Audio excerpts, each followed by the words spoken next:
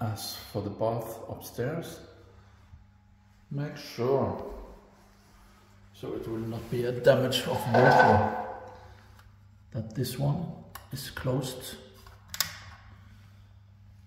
And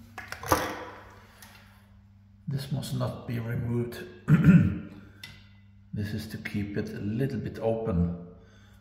So it will not burst and then flow water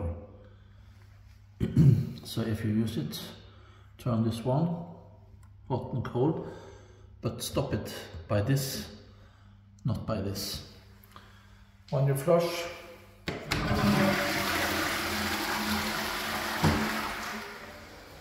maybe every hundred, one in a hundred times, the water will continue to flow. So make sure that this water filling sound always is stopped. also when taking shower, if somehow it should fill with water, you have to stop so the water is not going to the floor and then turning over this part and go into the building.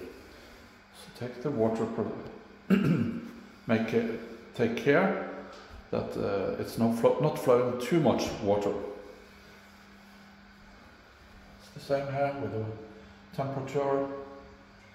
And uh, this if you need some more air if it's a lot of people you can increase the speed of the flow of the fresh air on this one if it's only two people this is plentiful this is preheating if it's like winter and if this is yellow, it doesn't matter.